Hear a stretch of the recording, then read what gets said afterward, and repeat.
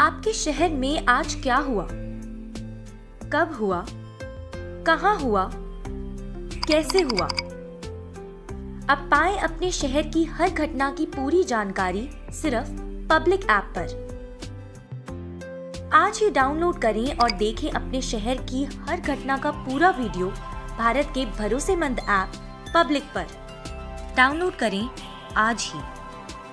सिवान के unity international school के विद्यार्थियों ने ट्रैफ़िक पुलिस के साथ मिलकर सिवान शहर में चलाया यातायात जागरूकता अभियान।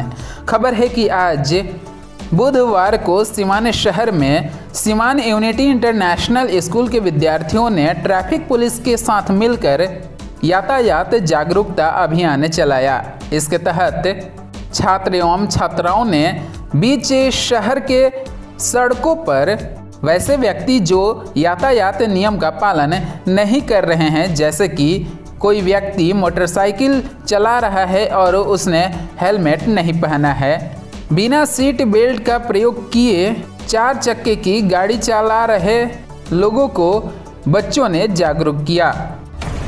होने लगी हैं खबरें। दम तोड़ने लगे हैं सरोकार।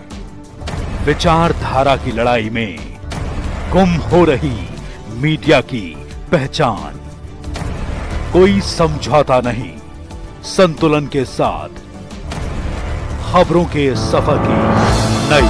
वहीं हेलमेट नहीं पहनने वाले लोगों को एवं जो मोटरसाइकिल पर दो से अधिक व्यक्ति बैठे थे, वैसे लोगों को गुलाब का फूल देकर बच्चों ने उन्हें यातायात के नियम समझाए और उन्हें बच्चों ने बताया कि हेलमेट नहीं पहनकर चलने से हम असुरक्षित हैं। कभी भी दुर्घटना हो सकती है और हमारी जान जा सकती है, इसलिए हेलमेट पहनना बहुत ही ज़्यादा ज़रूरी है। वहीं बच्चों ने लोगों को गुलाब का फूल देकर लोगों से अपील किया कि आप लोग हेलमेट पहने शराब पीकर मोटरसाइकिल या कार नहीं चलाएँ। तीन से अधिक व्यक्ति मोटरसाइकिल पर नहीं बैठे और चार चक्के की गाड़ी चलाएँ तो सीट बेल्ट का प्रयोग करें। हम लोग सेफ्टी के लिए आए हैं।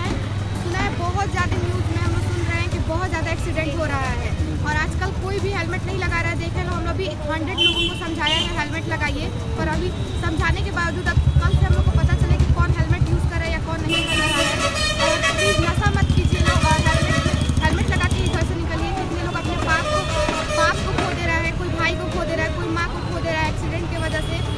अपने घर से निकलिए तो प्लीज़ हेलमेट लगा के ही निकलिए प्लीज़ रिक्वेस्ट है मोस्ट इंपॉर्टेंट है हेलमेट लगा के ही बाइक चलाइए वरना मत चलाइए और बोलिएगा कि ये सोच कर आया है कि लोग को हम लोग जीवन बचा पाए। क्योंकि आजकल देख रहे हैं कि एक्सीडेंट बहुत ही ज़्यादा हो रहा है। इंडिया में अगर देखा जाए तो डेली डेढ़ दो लाख के करीब हमारा एक्सीडेंट हो जा रहा है।